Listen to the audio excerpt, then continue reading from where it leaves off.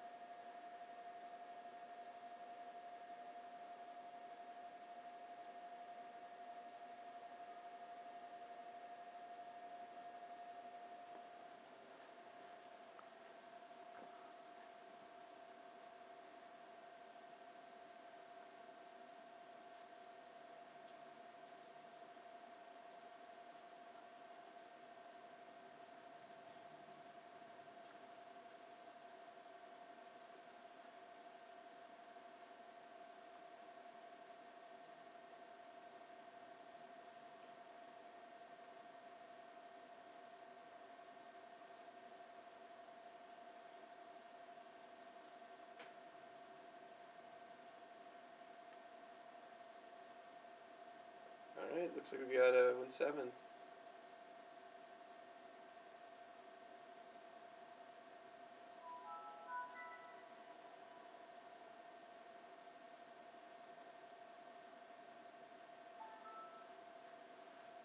Oh.